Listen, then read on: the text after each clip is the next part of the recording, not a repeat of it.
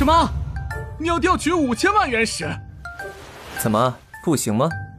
皇令，行行行，阁下您稍等。阁下，这正好是五千万。多谢了。行，阁下慢走。炼丹的材料可都贵得吓人，若天朱雀可要理解我呀。真是太可怕了，一下就调走五千万。五千万，他还真不把自己当外人。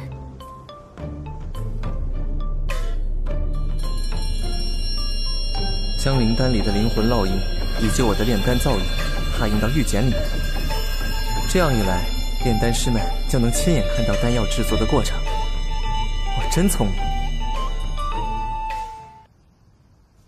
见过丹主。看来这三日你们获益匪浅了。是。这还要多谢丹主的栽培，这是我送你们的第二份大礼。啊，大礼！丹主，这玉简是什么呀？玉简中封着三文到六文的炼丹意境，回去自行领悟。至于炼丹的材料，丹府无条件提供。什么？我没听错吧？自今日起，丹府三阶炼丹师升四阶，赏一万元石；四阶升五阶，赏三万。五阶升六阶，赏五万。至于先前就是四阶、五阶的炼丹师，一样可以领到原石。什么？进阶居然还有奖励？没错，我需要在短时间内看到大家的炼丹成果。我可以养你们一辈子，但所谓的辉煌和荣耀，要靠你们自己来争取。是，多谢丹主。灵丹阁的各位，终有一日，尔等口中的废物，会让你们感到骇然。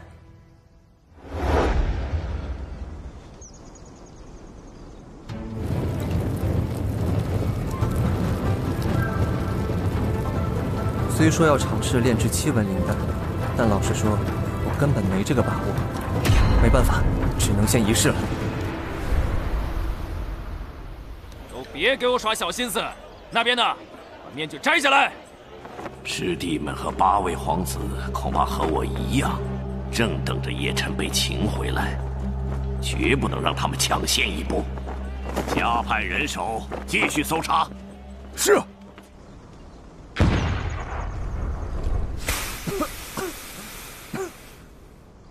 十几次都失败了，这七文灵丹果然不简单。归根结底，还是因为我的元神等级太低了。唉，想要炼制七文灵丹，怕是要黄境修为的元神。算了，先歇会儿吧。百年已过，也不知道大楚可安好。谢云，你终于出关了。是啊，不知道这里的夜空。与大楚的是否一样？大楚的故人是否也在仰望这片星空？终有一日，我们会再相逢。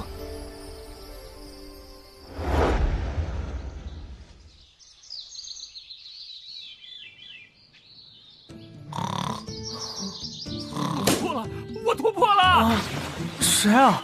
这大早上的吵死人了！啊！发生什么事了？不错。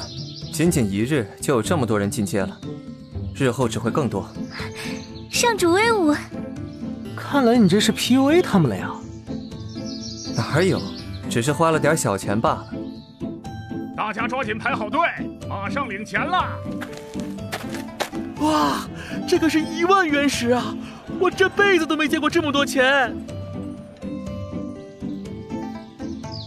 怪不得这些人干劲十足呢。想要收买人心，自然不能只靠一张嘴，花些钱也很有必要。这些时日你就待在丹府吧，我可不想他们再盯上你。托你的福，他们现在可没空搭理我。其他八位皇子也守在一重天呢。好了，我要炼丹了，你们俩自便。不愧是丹圣啊！炼丹手法这么熟练，哼，那是上主无所不能。叶辰啊叶辰，你可真是造孽呀！啊，九皇兄，你干嘛这样看着我？某人真是艳福不浅啊！哎，你胡说八道什么？等等等等等等兄，我还有事，先走一步了。谢云，你又怎么惹到他了？你为什么认为是我招惹他了？念威性格温柔，肯定是你的过错。你还是好好练你的丹吧。你作为兄长，对妹妹好点啊。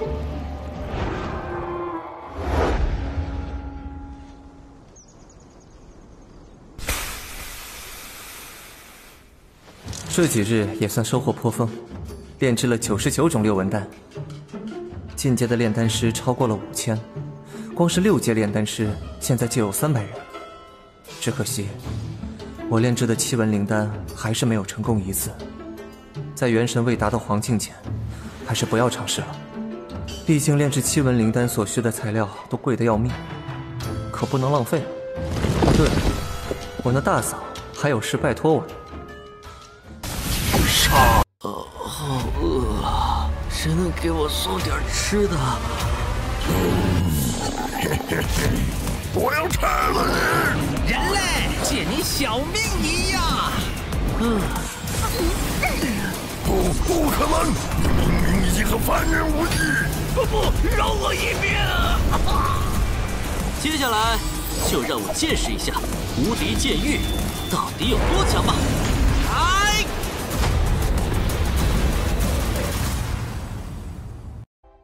圣玄宗五年一次的考核正式开始。一个连圣玄宗的门都入不了的人，竟然敢不崇拜我家王城！白墨淘汰，下一个。系统，使用一次顿悟机会。第五层料了。身为魔主亲子，纵然第五层又如何？我圣玄宗不收。那就继续。真的，你让他九层六去了。秦羽啊，秦羽，当年留你一条命，你在大荒苟且偷生不好吗？非要来自取灭亡？赵殿，李清河，秦家血仇，今日必将让你二人血债血偿。秦羽，你你的修为？不可能，他明明已经经脉尽碎，成为废人，怎么会？让我见证一下你的能耐吧，秦羽。